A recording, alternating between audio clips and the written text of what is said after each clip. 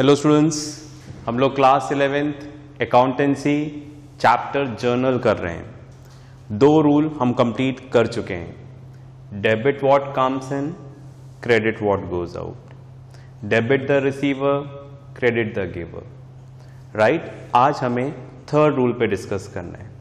ठीक है? तो मैं थर्ड रूल यहाँ पर लिख देता हूँ। ओके थर्ड रूल है debit all expenses and losses. Credit all, incomes and gains. Right तो थर्ड रूल क्या बोलता है एक्सपेंस या लॉस होगा तो हम उसको डेबिट करेंगे तो सबसे पहले हम ये समझ लें कि एक्सपेंस और लॉस में क्या डिफरेंस होता है? Right right? चलिए एक्सपेंस और लॉस को चलो एक एग्जांपल से समझते हैं। सपोज़ आपने क्या किया?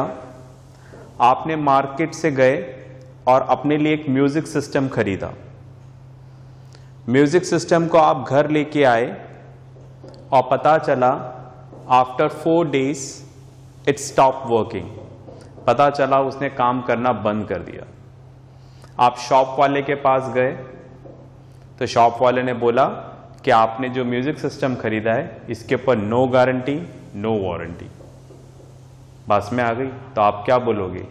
कि आपका क्या हो गया? ये लॉस हो गया। बस में आ रही है। ठीक है? राइट लॉस का मतलब क्लियर हुआ। चलो, अब एक्सपेंस का मतलब समझते हैं। सपोज़ एग्ज़ाम्पल चेंज करते हैं। हमने वही म्यूज़िक सिस्टम खरीदा राइट और म्यूज़िक सिस्टम पता चला, बहुत बढ़िया चला। आपने 10 साल तक उसको यूज़ किया। तो आप क्या बोलोगे? राइट पैसे वसूल हो गए। तो हम क्या बोलेंगे? राइट उस एक्स उस खर्चे को हम लोग यहाँ पर क्या बोल देंगे? एक्सपेंस कहने का मतलब आप समझे? मतलब आप किसी चीज़ के लिए पैसा खर्च करें। अगर उसके बेनिफिट्स आपको मिल जाए तो एक्सपेंस है। और बेनिफिट नहीं मिले तो लॉस है। आपने पेन खरीदा दस रुपए का, घर पे लाए, ठीक है राइट और उसने वर्क ही नहीं किया और शॉपकीपर वापस नहीं लेगा तो आप क्या बोलोगे? दस रुपए का लॉस हो गया। आप पेन लेके आए, आपने टेन रुपीज़ का पेन लेके आए, बहुत अच्छे से यूज़ किया तो आप क्या बोलोगे? पैसा वसूल हो गया राइट तो हम उसी खर्चे को क्या बोल देंगे? एक्सपेंस ओके तो एक्सपेंस या लॉस है, वो रिज़ल्ट पे डिपेंड करता है। अगर बेनिफिट्स मिले तो एक्सपेंस है, और बेनिफिट्स नहीं मिले तो लॉस है। Right right? अभी जर्नल वे में आप ऐसा समझिए। आगे फिर हम इसकी डेफिनेशन पढ़ेंगे, तब और पर्टिकुलरली पढ़ेंगे इसको, कि इसका क्या मीनिंग होता है। ठीक है? चलिए तो रूल यहाँ पर क्या हो गया? Debit all expenses and losses credit all incomes and gains ठीक है? इनकम और गेन्स को हम लोग क्या करेंगे? क्रेडिट करेंगे. अब आप देखो इनकम और गेन्स में क्या डिफरेंस है? जैसे सपोज़ पता चला कि मैं जो भी अपना बिज़नेस कर रहा हूँ, उससे जो भी मैं अर्न कर रहा हूँ, वो मेरे लिए क्या है? इनकम है. जैसे मैं आपको पढ़ा रहा हूँ, आप मुझे फ़ीस दे रहे हैं, उससे मैं सारे एक्सपेंसेस कंप्लीट करता हूँ, और जो बचता है वो मेरे लिए क्या हो जाएगा? प्रॉफिट ठीक है? मतलब इनकम गेन यहाँ पर क्या होता है?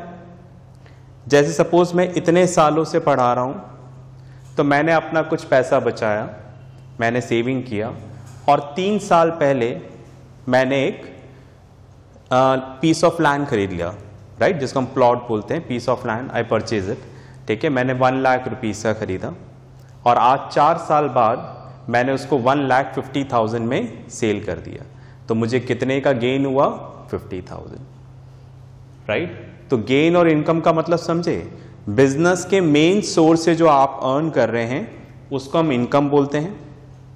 और पता चला, आपके इन्वेस्टमेंट्स इन सारी चीज़ों से जो आपको प्रॉफिट होता है, उसको हम लोग क्या बोलते हैं? गेन बोलते हैं। एक मैंने हल्का सा आइडिया दिया, बाकी हम लोग थ्योरी में इसको और डिस्कस करेंगे। जो भी है एक्सपेंस है वो या लॉस हो, उसको डेबिट करेंगे। इनकम या गेन है, हम उसको क्या करेंगे? क्रेडिट करेंगे। इतना क्लियर है? चलिए, अब यहाँ पर हम लोग एंट्रीज देखते हैं।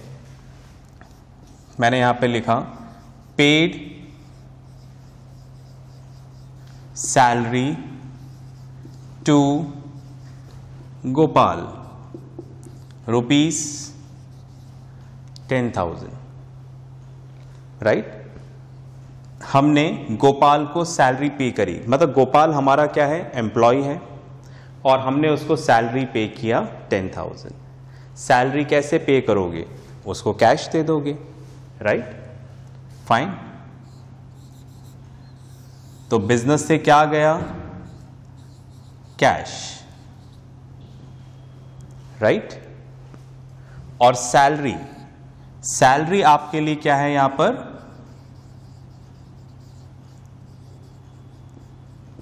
एक्सपेंस राइट क्यों?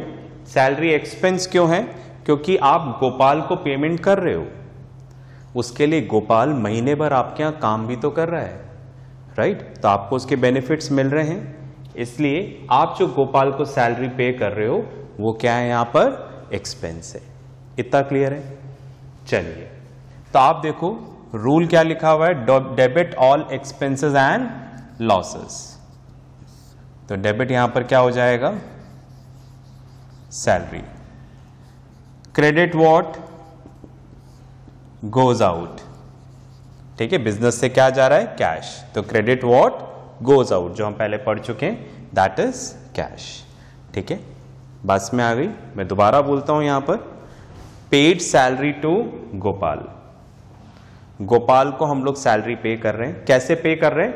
कैश दे रहे हैं। ठीक है तो बिज़नेस से क्या गया? कैश और सैलरी हमारे लिए क्या है? एक्सपेंस है। क्यों?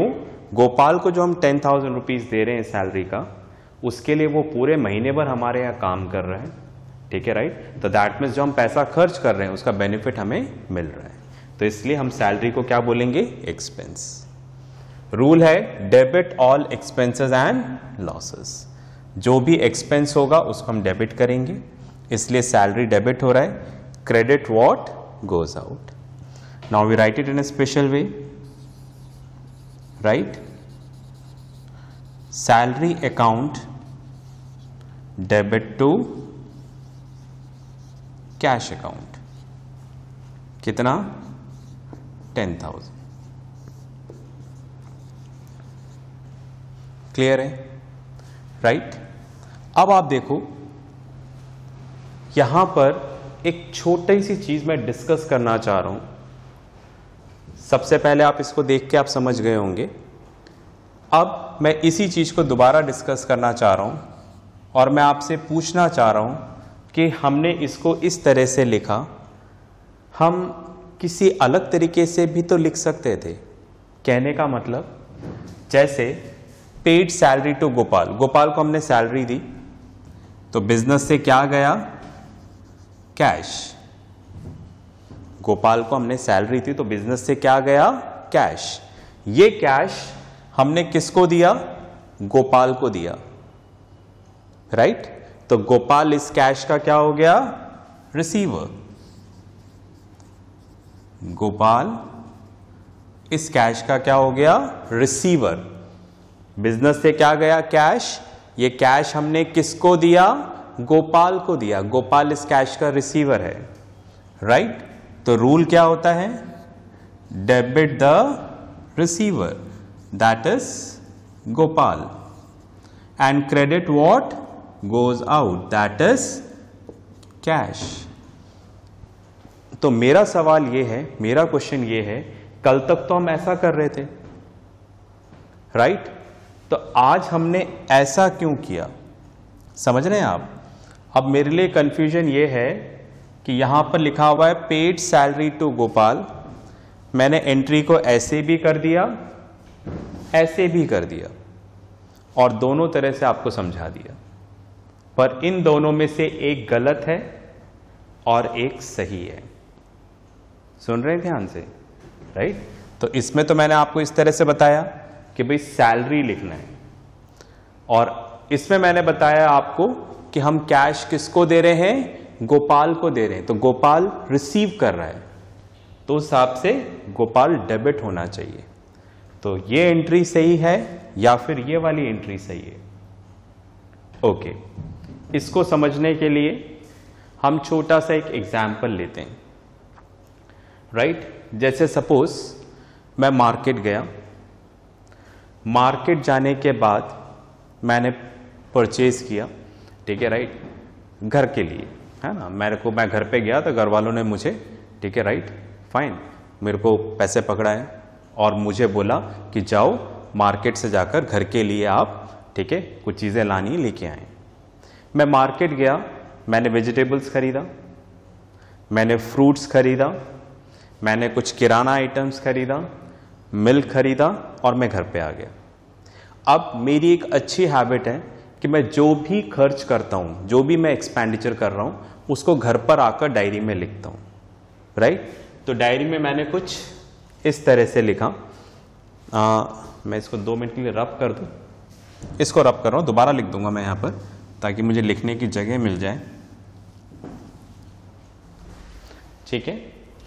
तो मैं घर पे आता हूँ और घर पे आकर अपनी बुक्स में इस तरह से लिखता हूँ। वेजिटेबल ठीक है? Vegetable rupees five hundred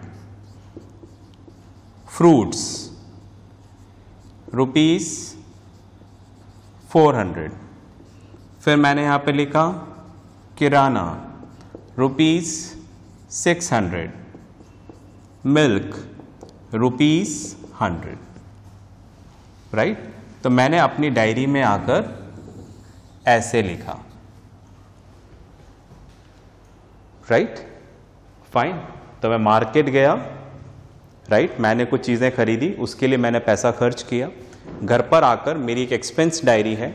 उस डायरी में आकर मैंने ऐसे लिखा वेजिटेबल 500 फ्रूट्स 400 किराना 600 मिल्क 100 अब आप बताइएगा, मेरे पास लिखने का एक और तरीका है। आप खुद देखिएगा दोनों में से क्या सही है। जब मैंने वेजिटेबल खरीदा तो वेजिटेबल वाले का नाम पूछ लिया था, फ्रूट्स वाले का नाम पूछ लिया था, किराने वाले का नाम पूछ लिया था, और जिससे मैंने मिल्क खरीदा, उसका नाम पूछ लिया। अब मैं घर पर आकर ऐसे लिखता हूँ, जैसे मैंने वेजिटेबल खरीदा, ठीक है राइट कालू राम से। तो मैंने आके लिखा Kalu Ram rupees five hundred. Fruits वाले का नाम था, घसीटा लाल। तो घसीटा लाल से फोर हंड्रेड रुपीज़ का फ्रूट्स खरीदा। किराना वाला था Shyam Lal Shyam Lal rupees six hundred. ठीक है राइट फिर मिल्क वाला था। मिल्क वाले का नाम क्या दें? कुछ भी दे दें मोहन लाल दे दें। Mohan Lal rupees hundred. अब आप मुझे बताइए, अगर मैं घर पैसा खर्च करता हूँ तो मुझे अपने घर पर आकर एक्सपेंस डायरी में क्या लिखना चाहिए? मुझे ये लिखना चाहिए या फिर ये लिखना चाहिए? मतलब मैं एक्सपेंस का नाम लिखूं या एक्सपेंस से रिलेटेड पर्सन का नाम लिखूं?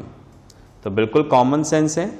आप समझ गए होंगे कि हम लोग खर्चे का नाम लिखते हैं एक्सपेंस का नाम लिखते हैं। एक्सपेंस से रिलेटेड पर्सन का नाम नहीं लिखते। बात में आ रही है। तो अगर आप पैसा खर्च करते हो तो आप घर पे आकर एक्सपेंस का नाम लिखोगे कि भाई मैंने वेजिटेबल खरीदा फ्रूट्स खरीदा, किराना खरीदा मिल्क खरीदा शूज़ खरीदा स्टेशनरी खरीदा।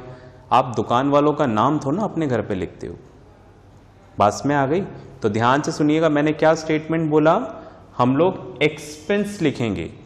एक्सपेंस से रिलेटेड पर्सन का नाम नहीं लिखेंगे। तो आप वही देखो, यहाँ पर हमने क्या लिखा है? पेड सैलरी टू गोपाल तो सैलरी एक्सपेंस है। तो एक्सपेंस का नाम लिखेंगे। जबकि इधर देखो, मैंने क्या लिख दिया है? गोपाल लिख दिया है।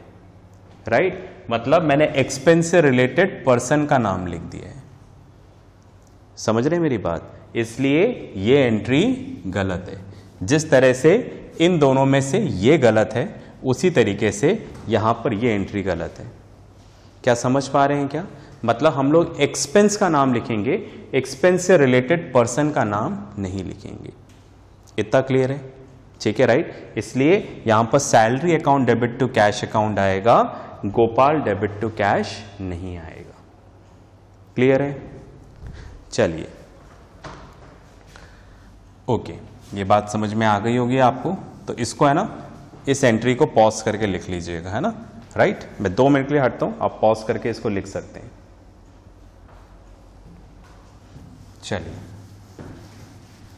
मैं बोर्ड पे से इसलिए हट जाता हूँ ताकि आपको पूरा बोर्ड विजिबल होगा और आप अच्छे से लिख पाएँगे। चलिए, कुछ और एग्जाम्पल्स देखते हैं। आई होप आपको ये समझ में आ गया होगा। नहीं तो फिर आप डाउट क्लास में इसको एक बार और डिस्कस कर सकते हैं। ठीक है? चलिए, कुछ और एग्ज़ाम्पल बताता हूँ। उससे आई थिंक थोड़ा और क्लियर हो जाएगा। चलिए, मैंने यहाँ पर लिखा पेड रेंट टू राम ठीक है? Rupees twenty five thousand right तो राम हमारा लैंडलॉर्ड है। और हमने उसको यहाँ पर रेंट का ट्वेंटी फाइव थाउज़ेंड रुपीज़ दिया। तो रेंट कैसे पे करेंगे? कैश दे देंगे। तो बिज़नेस से क्या गया? Cash right right? और रेंट रेंट हमारे लिए क्या है? एक्सपेंस है। Right right? बस में आ रही। क्यों? क्योंकि अगर आप रेंट दे रहे हो तो महीने भर आप उस प्रोमाइसिस को यूज़ भी तो कर रहे हो। बस में आ गई? तो रेंट हमारे लिए एक्सपेंस है। ओके और रेंट लिखेंगे। मैंने अभी जस्ट आपको समझाया, इससे रिलेटेड पर्सन का नाम नहीं लिखेंगे। ठीक है? तो debit all expenses and losses right तो यहाँ पर आ जाएगा rent and credit what goes out that is cash write it in a special way rent account debit to cash account twenty five thousand ठीक है? पॉज करके लिखें, फिर कुछ एग्जाम्पल्स और देखते हैं।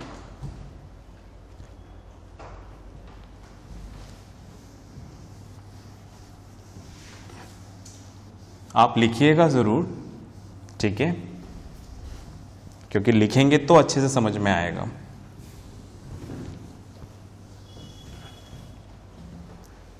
नेक्स्ट मैंने यहाँ पर लिखा received commission right rupees ten thousand right हमने किसी का काम करके दिया, बदले में उसने हमें क्या दिया? कमीशन दिया। ओके कमीशन कैसे देंगे? हमें कैश दे दिया। कुछ नहीं लिखा हुआ है मतलब कैश मिला है हमें। तो आप देखो, अगर कमीशन मिला है तो बिज़नेस में क्या आया? कैश और कमीशन हमारे लिए यहाँ पर क्या हो गई? इनकम भाई, हमने उसका काम करके दिया है, हमने मेहनत करी है। इसलिए बदले में हमें वो पैसा मिल रहा है। बस में आ गई। तो ये हमने अर्न किया है। तो इसलिए हमारे लिए क्या है? ये इनकम है।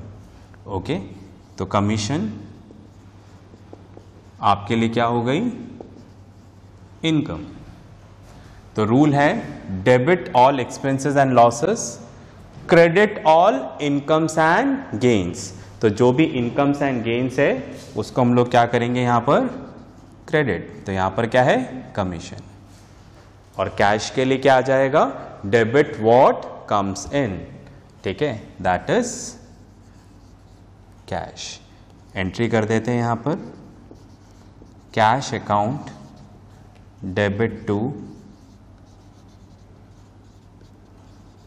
commission account right ten thousand okay pause करके लिखें इसको.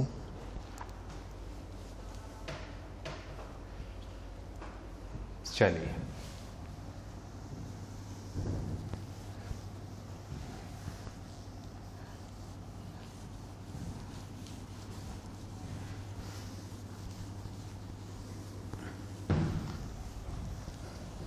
ओके। okay.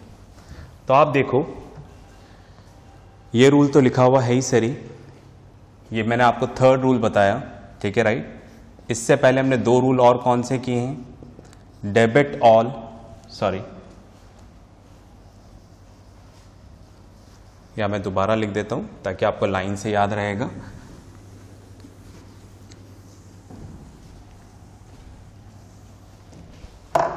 रूल था debit what comes in credit what goes out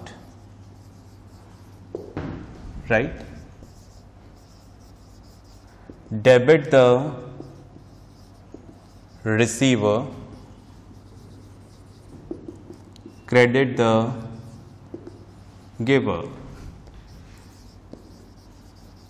Debit all expenses and losses. Credit all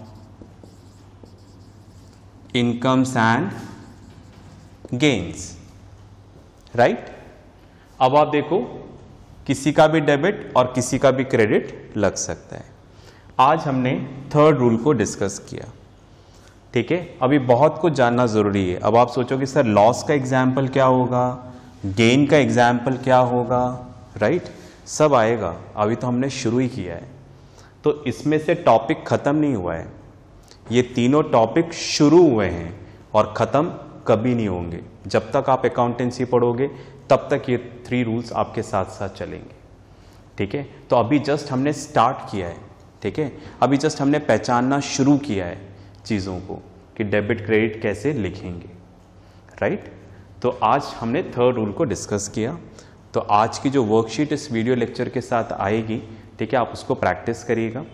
ठीक है राइट नेक्स्ट क्लास में हम क्या करेंगे? इन्हीं रूल्स को आगे और डिस्कस करेंगे राइट तो नेक्स्ट क्लास में फिर मिलते हैं। तब तक के लिए प्रैक्टिस करते रहें, पढ़ते रहें और अपना ध्यान रखें।